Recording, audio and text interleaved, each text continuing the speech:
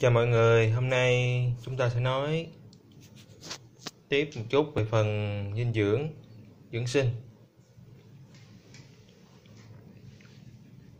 Người lớn hay là trẻ nhỏ cũng vậy.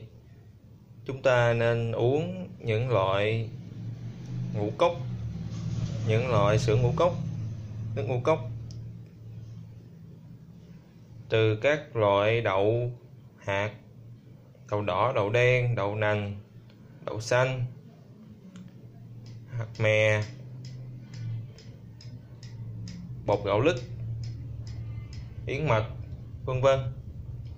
Sẽ tốt hơn là uống sữa bò. Sữa bò thì vốn là không có phù hợp cho con người chúng ta để hấp thu. Với lại sữa bò hiện nay, người ta nuôi bò theo quy trình công nghiệp thì họ chích vào con bò những cái loại hormone tăng trưởng để mà kích thích cho con bò sản sinh ra nhiều sữa và chích vào có thể nó thêm kháng sinh nên những loại thuốc đó sẽ ra sữa của, của con bò mà chúng ta uống vào sẽ có hại hơn nữa. Cho nên nếu mà các bà mẹ mà nuôi trẻ em nuôi các trẻ nhỏ thì nên cho trẻ em uống các loại sữa ngũ cốc sẽ tốt hơn là cho trẻ uống sữa bò nhiều. Còn nếu mà nói về vấn đề canxi thì chắc chắn uống sữa ngũ cốc sẽ không có thiếu canxi.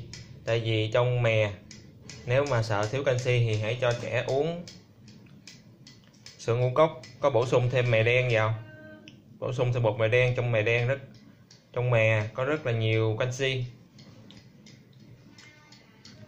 Còn thật ra canxi của sữa bò thì cơ thể người không hấp thu được bao nhiêu hết, mà uống vào còn có hại hơn. Uống vào có hại cho sức khỏe của chúng ta hơn nữa tại vì sữa bò sẽ tạo môi trường âm tính trong cơ thể và phải để giúp cân bằng âm dương. Quân bình cơ thể lại thì cơ thể chúng ta phải rút bớt canxi trong xương ra nữa chứ. Chứ thật ra uống sữa bò không có giúp mà tăng trưởng canxi gì hết.